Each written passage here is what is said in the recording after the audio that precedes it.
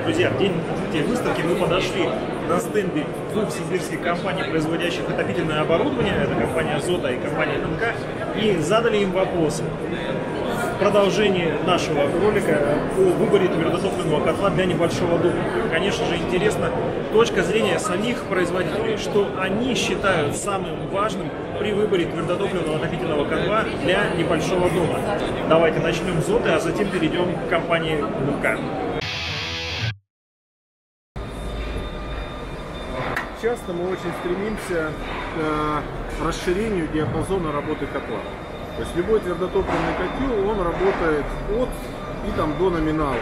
И вот чем ниже э, порог э, начальной работы, тем, можно сказать, продвинут, тем удобнее котел. Потому что мы хотим взять котел с запасом, но потом запас этот нас бьет обухом по голове, когда на улице тепло, а когда холодно на улице, нам бы этот запас захотелось. И вот автоматика все-таки, все-таки, она прощает ошибки выбора. То есть, если вы покупаете котел э, с ручной загрузкой, но вы устанавливаете вентилятор и хороший контроллер, который адаптируется, э, тогда вы можете с э, чуть большим запасом, с большим запасом купить котел, нежели вы будете использовать его без вентилятора.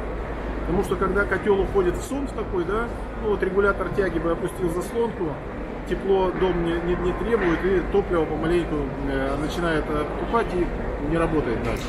Здесь все-таки есть режим продувки, когда хочешь не хочешь, но котел для поддержания себя любимого он будет давать импульс. Ну то есть он не даст, не даст котлу завалиться в затухание полно... Не даст котлу завалиться, но мы где-то считали, допустим, там 15 киловаттный котел, э, минимальная мощность вот с э, контроллером 3,5 3,9 киловатта. Ну, это очень низкая мощность. Да, это очень низкая. Минимальная мощность с э, регулятором тяги э, под 6, э, под 6 киловатт в 15 киловаттном котле. Но здесь как бы на, еще на, э, начинает уже на первый план выходить материал трубы. Угу. Вот, это, это, это важно. Тут, конечно, никого, э, никакого самообмана быть не должно, но все-таки э, автоматика для котлов это уже ну, такой типовая, типовой э, апгрейд любого котла. Я вот за э, как раз вот за, за, за эти шаги. Причем можно подключить вот шнурочек для подключения комнатного термостата. Ну как-то электрик называет сухой контакт. Мы подключаем термостат, размещаем его э, в комнате. И дальше в нормальных термостатах есть два сценария. Первый сценарий отключение э, горения и э, дальше котел сам себя защищает уже продукта, как мы говорили. Вот. И второй сценарий, который я больше всего люблю, это э, управление насосом. То есть мы э, по срабатыванию термостата отключаем насос. Если котел по инерции выбегает до какой-то температуры, дальше сработает аварийный термостат, и он разнесет, растащит эту воду, насос включит, когда, когда нужно будет. Вот, вот это, это полезно. Я намеренно не говорю про там, насосы ГВС, там, регулирование, прочие эти вещи. Э, это не продается. Продается как раз вот это простое и интуитивно понятно. А, как вот, учат борьба с возражениями. Основное возражение у нас часто отключают свет, это твердотопливный котел. И вот здесь точностью наоборот. Если вы ставите э, автоматику, ставите э, вентилятор для управления котлом, здесь как раз при отключении света, а, как ни странно, более безопасная работа. Почему? Потому что первый случай, регулятор тяги, ну вот, допустим, регулятор тяги, отключили свет, а, котел продолжает работать, и а, насос у нас не подключен к бесперебойнику. Котел нагревается, регулятор тяги постепенно опускает, какая инерция будет вот этого процесса? Она будет достаточно высокая, потому что регулятор тяги минуты будет отрабатывать вот эти процессы. Здесь отключили свет, у нас вентилятор отключился, и противовес он просто роняет обратный клапан, и котел на тех дрожжах, что здесь есть, на остаточном воздухе, у него выбег определенный э, будет. Э, я не могу сейчас сказать, будет это безопасный выбег, насколько инерционна ваша система, но это в любом случае безопаснее, чем Э, работа классического э, регулятора классического тяги. регулятора тяги. Это, это очевидно, просто очевидно. Вот. Поэтому для меня, если говорить, какие технологии, вот сейчас рассуждать, вот у одного здесь заслоночка, у второго там заслоночка, мы начинаем друг перед другом менять какие-то цвета, и мне кажется, что э, все-таки автоматизация горения твердого топлива, это, наверное, самое правильное и, как ни странно, самое простое, что можно сделать вот в рамках вот этой вот коробки, э, где сжигается уголь и дрова. Пришли в гости к нашим друзьям, компании НМК. Сергей, приветствую. Не так давно мы на нашем канале выпустили ролик, посвященный как раз критериям выбора отопительного котла. Естественно, мы уделили некоторое внимание подбору мощности, э, уделили внимание особенностям эксплуатации. Но вот с точки зрения вас, вот вы производитель, на что все-таки нужно обратить внимание при выборе котла? Ну, в первую очередь, наверное, всегда человек, э, приходя в магазин, он э, смотрит отталкивается от ценовой политики, то есть э, от и до, что он может себе позволить, это первый момент.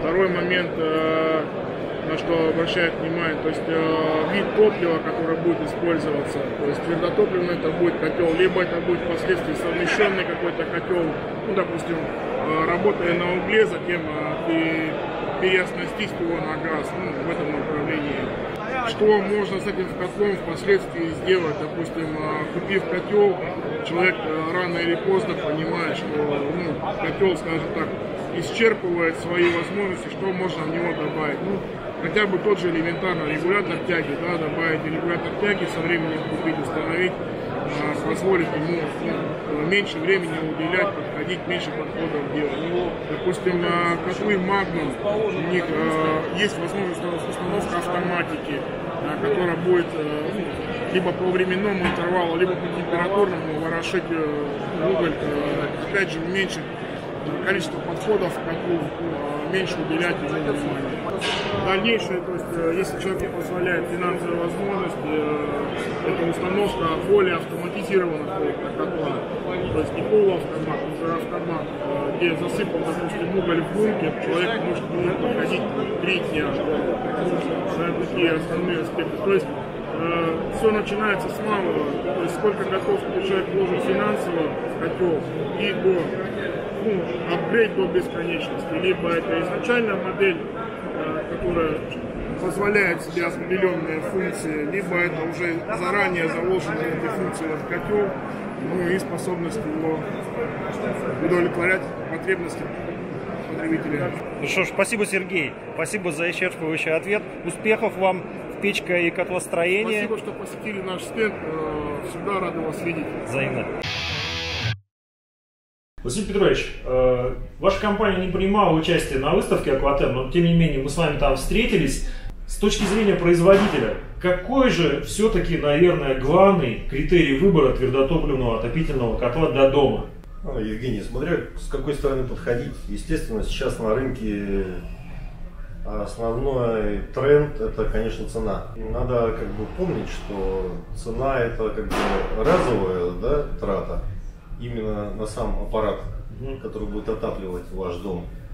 Но надо еще понимать, а, сколько топлива будет потреблять именно данный аппарат. Соответственно, понятно, что если нет возможности переплатить деньги, то ну да, человек берет топливный котел как бы ну, посредством.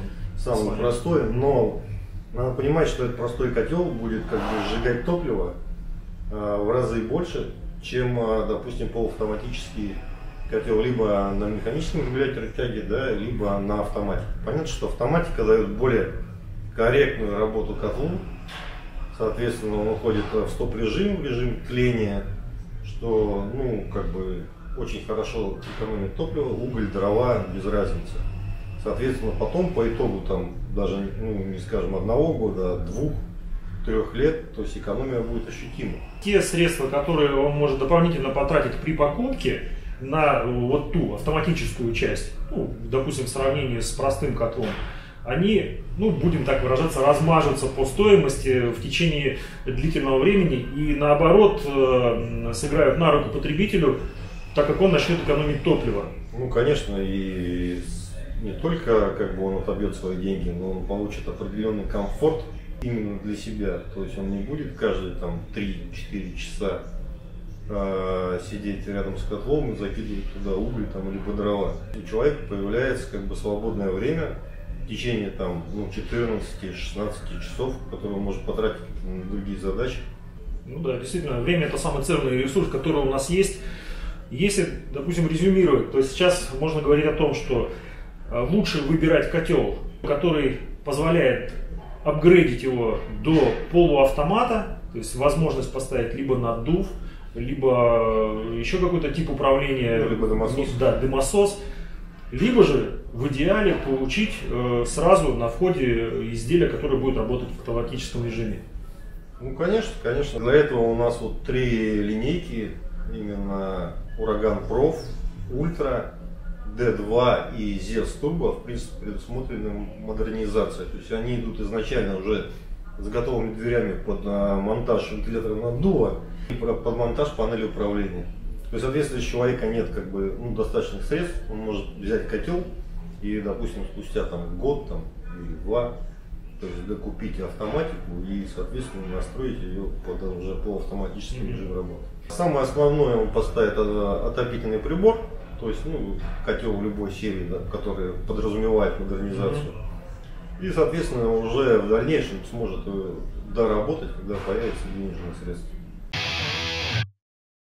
В нашем ролике сейчас собрались представители всех трех компаний, котлы которых у нас участвовали э, в первой части выбора котла. И сегодня вот мы получили ответ э, компании Термокрафт, и в принципе они не сговариваясь вывели общую такую теорию, то что лучше обращать внимание на возможность автоматизации процесса горения, автоматизация процесса работы котла. Так что действительно это перспективное направление и соглашусь с Василием Петровичем, то, что время, пожалуй, время это, наверное, самый ценный ресурс, который есть у человека.